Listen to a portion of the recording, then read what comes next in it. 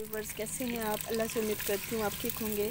प्यारे viewer as usual जैसा कि हमेशा मैं हर दिन क्या बनाऊँ कि ये तो टेंशन ही ख़त्म हो गई आपकी, क्योंकि मैं डेली आपको भेजती हूँ कुछ ना कुछ इस तरह जो आप डेली इजीली आसानी से बना सकें और देसी तरीके से आप इसको गैस पे भी बना सकते हैं। आपसे मेरी रिक्वेस्ट है कि आप मेरे चैनल को लाइक कर दीजिए और सब्सक्राइब कर दीजिए ताकि और बेल आइकन भी दबा दीजिए ताकि आपको हर आने वाली न्यू वीडियो मिल सके। प्यारे व्यूवर्स आज मैं बनाने चाह रही हूँ चिकन अरबी जो कि बहुत ही हर घर की पसंद है, हर इंसान की पसंद है। सब लोग बहुत अच्छे से खा, खाते हैं इसको, अगर अच्छे अच्छे से बनी हुई हो तो। तो मैंने दो प्याज डाल दिए और तकरीबन डेढ़ सौ ग्राम जो है घी ऐड कर दिया, दो दो चम्मच घी ऐड कर दिया और इसमें दो प्याज डाल दिए।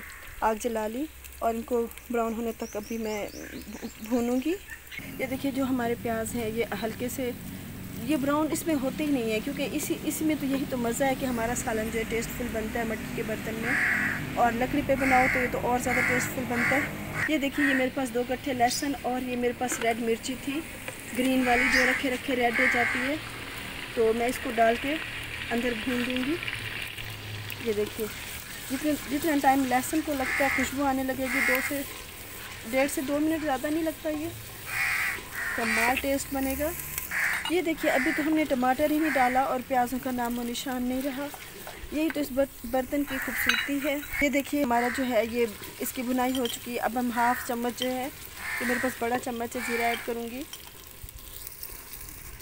ये फुल चम्मच डालूँगी और अब मैं इसमें पिसी मिर्च डालूँगी हाफ़ चम्मच। और हाफ़ चम्मच मैं इसमें नमक डालूँगी और एक चम्मच मैं खुश्क धनिया डालूँगी।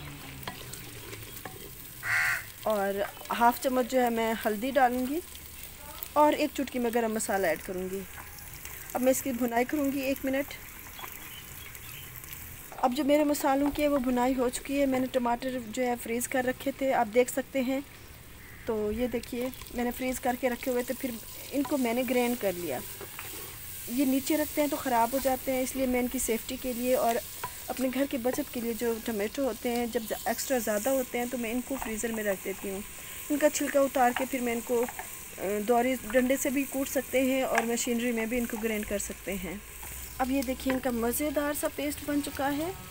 अब हम इसमें डालेंगे चिकन क्योंकि आप जब प्याज को गोल काटेंगे तो इस तरह पेस्ट बन जाएगा और बहुत ही टेस्टफुल बनेगा।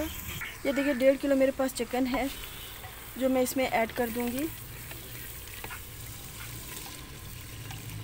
अब मैं इसकी छः से सात मिनट या आठ मिनट अच्छे से बुनाई करूँगी। पहले मैं इसकी बुनाई करूँगी, अगर आपके पास देसी बर्तन है या स्टेनलेस स्टील है या कुछ और है तो उसमें तो आपको पानी डालने की ज़रूरत होती है छेंटा देने की। लेकिन मट्टी का बर्तन एक ऐसा बर्तन होता है जिसमें छेंटा डालने की भी ज़रूरत नहीं पड़ती। ऐसे ही बुनाई होती रहती है। ये देखिए, साथ में हमारी अरवी की छिलाई हो रही है। इसको अच्छे से छील के इसको कट कर लेंगे। ये देखिए, हमारी अरवी जो है कट चुकी है। हाफ़ चम्मच जो है हम इसमें नमक डालेंगे।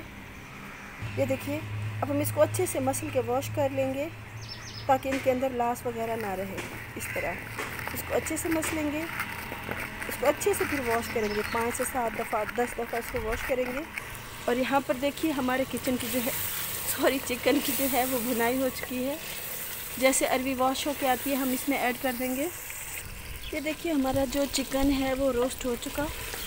अब हम इसमें अरवी डालेंगे। इसको मैंने पानी का छेंटा नहीं दिया। मट्टी के बर्तन की यही खूबी है।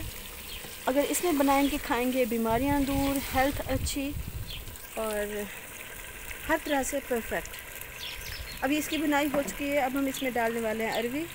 ये देखिए, बुनाई के दौरान मैंने थोड़ा सा सालन निकाल लिया। अगर कोई अरवी नहीं खाना पसंद करता तो आप इसको भुना भुना हुआ दे सकते हैं या फिर इसको रख सकते हैं नेक्स्ट टाइम के लिए। ये देखिए, अब हम इसमें डाल देंगे अरवी। अब हम इसको इसको भी हम छः से सात, आठ मिनट इसकी बुनाई करेंगे। वाह ये देखिए। ये देखिए, हम इसको हल्का हल्का छेंटा दे के ना, हम इसको बुनाई करते जाएँगे। और जब अरवी गल जाएगी, ये देखिए, हमारी जो है बुनाई हो चुकी है। लास्ट में हम थोड़ा सा छेंटा देंगे दही का। अगर हमने साथ में डाली होती तो ये सख्त हो जाती अरवी हमारी। अब हम इसकी बुनाई करेंगे, इसको खुश करेंगे। हमारी जो है भुनाई हो चुकी है, अब अब हम इसमें हंसपे ज़रूरत पानी ऐड कर देंगे। आप जितना शोरबा बनाना चाहें, इसमें ऐड कर सकते हैं।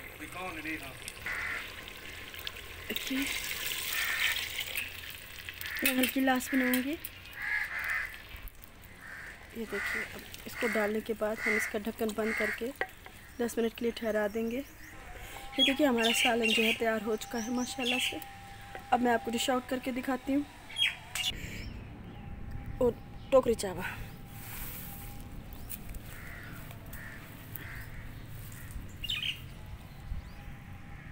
ये देखिए, बहुत ही मज़ेदार टेस्टफुल जो है हमारा तैयार हो चुका है। और आपसे लास्ट में मेरी रिक्वेस्ट है कि आप मेरे चैनल को लाइक कर दिया करें और सब्सक्राइब कर दिया करें ताकि इस तरह की हर दिन न्यू आने वाली वीडियो आपको मिल सके और आप और हम एक दूसरे के साथ जुड़े रहें। थैंक यू खुली हवा में बनाना, खुला होके बनाना बहुत ही मज़ा देता है। आपसे मेरी फिर रिक्वेस्ट है। थैंक यू अस्सलाम वालेकुम